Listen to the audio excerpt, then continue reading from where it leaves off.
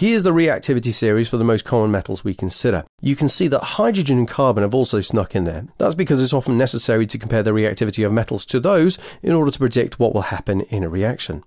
A more reactive metal will displace a less reactive metal from a compound, that is, kick it out. For example, if you place zinc in copper sulfate solution, you'll see copper forming on the lump of zinc. The zinc displaces the copper to form zinc sulfate, kicking the copper out of the compound.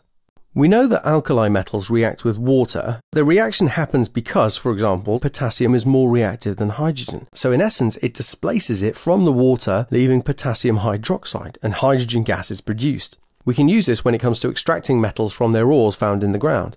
Any metal less reactive than carbon can be displaced by it. For example, iron can be displaced from iron oxide with carbon. This is called smelting.